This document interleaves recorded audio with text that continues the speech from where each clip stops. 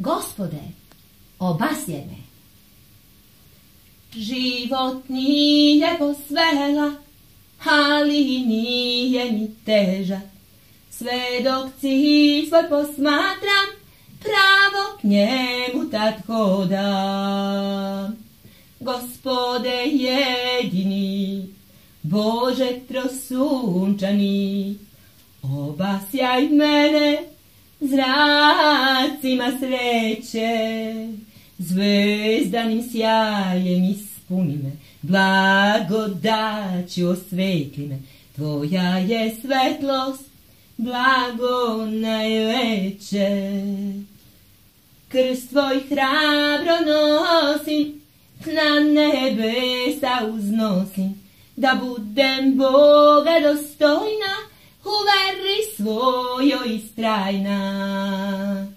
Gospode jedini, Bože trosunčani, obasjaj mene zracima sreće, zvezdanim sjajem ispuni me, blagodaću osvetli me, Tvoja je svetlost, blago najveće. Ja želim večno sijati, s Bogom se sjediniti, u srcu da mi gori žar, ljubavni plam taj Boži dar.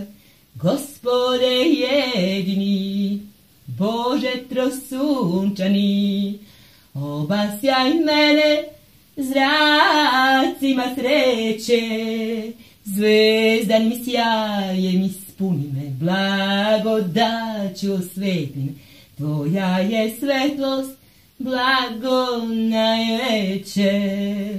Gospode jedini, Bože trosunčani, obasjaj mene zracima sreće, zvezdanim sjajem ispuni me, blagodaću osvetli me, tvoja je svetlost, blago najveće.